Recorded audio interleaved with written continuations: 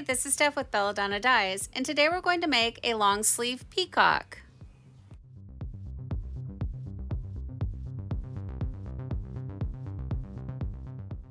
For this project, I've decided to turn it inside out. I'm going to be lining up the seams, and I just find it easier if the seams are on the outside.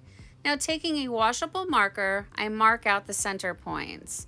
Once I get those marked out, I'm going to tuck one sleeve inside the other sleeve, line up all of the seams along the underarm and the shoulder, and then I'm going to pick it up and I'm going to shake it, and I'm going to lay one side flat against the table, and then I'm going to fold the other part on top of that. And what this does is it creates symmetry, and this process is called centering the shirt. And you'll hear me say, doing the sleeve inside the other sleeve technique, it's actually called centering a shirt. So when you do this method, what it does is it creates symmetry like a mirror. So if you're standing and looking at somebody from the front of the shirt, it has a mirror image and the saturation is all the same. And then if you're looking at them from the back, it has a mirror image and the saturation is all the same. And for most patterns, you want to use this technique. Centering a shirt, it's not hard, it just takes a little bit of practice. I know when I first started tie-dyeing, I was really intimidated by the process, and I don't do them all the time, so I'm sure that I'm making it look a lot harder than it needs to be.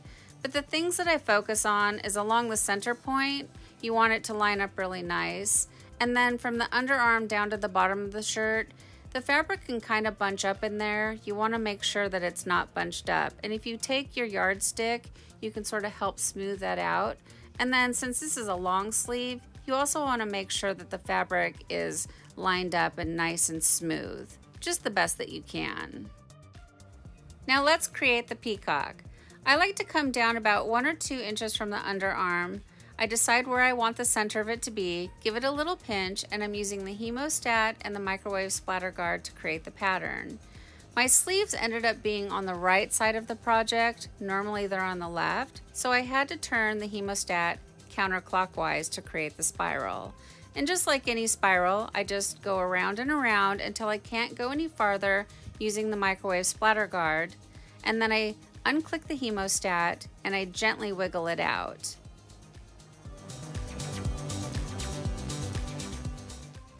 I like to secure my spirals by using rubber bands. I just find them to be quick and easy. It's a matter of preference. You could also use kite string or sinew, but I go for quick and easy. And these are what I call my favorite rubber bands in the color purple. And I do have links for them down below in the description box along with everything else that I use for tie-dye. So go ahead and check it out. So this entire project is backwards for me and I am left-handed and so it's my dominant hand. So I don't know if you caught that, but I had to flip the project over because what I'm doing now is I'm pulling on the loose tails and tucking them into the nearest rubber band to create a nice tight spiral.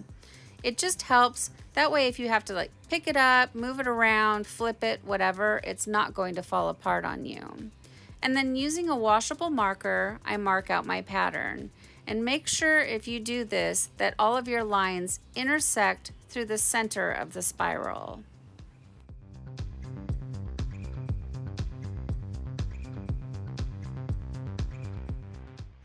Now it's time for the fun part and my favorite part. We get to add the dye.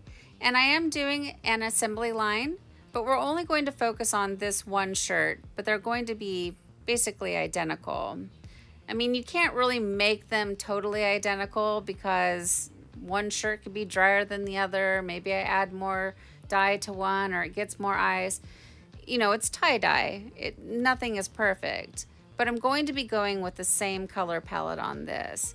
And for this one, it's going to be a darker color palette. I don't usually work with the blacks and the grays very often. And so I thought it just would be a nice change of pace.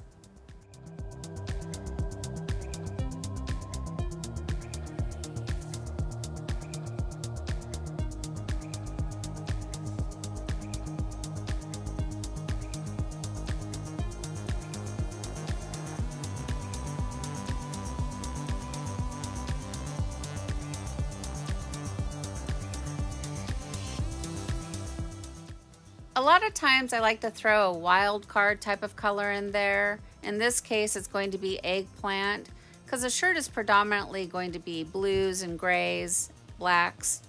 And then that punch of color, I hope will just draw your eye in and create contrast and interest. Moody Blue is a special order dye from Dharma Trading Company. And special order dyes you have to order 10 pounds in order to get it, and I'm just not going to do that. So, where I get the special order dyes is from Facebook. Kathy Sprague is who I work with, and she has created a page called Tie Dye Supplies Marketplace.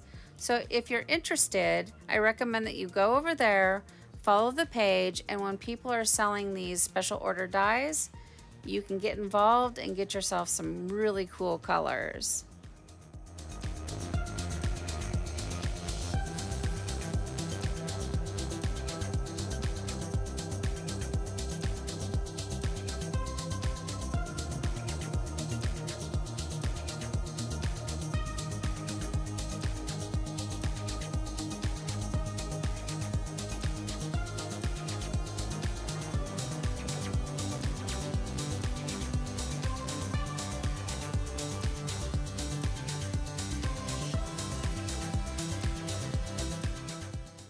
Next, I give the project a quick little sprinkle of soda ash for good measure. I want to make sure that the pH stays up around 10.5 to 11. And then I add my ice. So for this project, I decided to create an ice barrier. That way I didn't have to fill the entire tote up with ice. I'm just trying to be conservative. And I have the empty dye jars there holding the silicone cake molds in place. Make sure they're empty dye jars, you guys. And then it's recommended that you let it batch for at least 24 hours at 70 degrees or higher. And I can tell you that this batched for the full 48 hours. Now look at that muck water. It looks scary, but trust the muck. Set it and forget it. Now it's time for the rinse out, and you want to start by using cold water to remove any soda ash that might still be reacting within the fabric, and then increase your water up to hot and rinse until the water runs pretty much clear. So the cold water gets rid of the soda ash, the hot water removes the unbonded dye, so it goes down your drain instead of into your washing machine. So once in the washing machine, I like to use Kieralon and that's a professional textile detergent that I get from Dharma Trading Company. Then I like to do a final hot water cycle using Milsoft, and that's a professional fabric softener that I also get from Dharma. And if you look down below in the description box, you will find links. It just makes it easy for you to find, do your research. Then I put it in the dryer and I'll iron it and we'll come back and we'll see the results.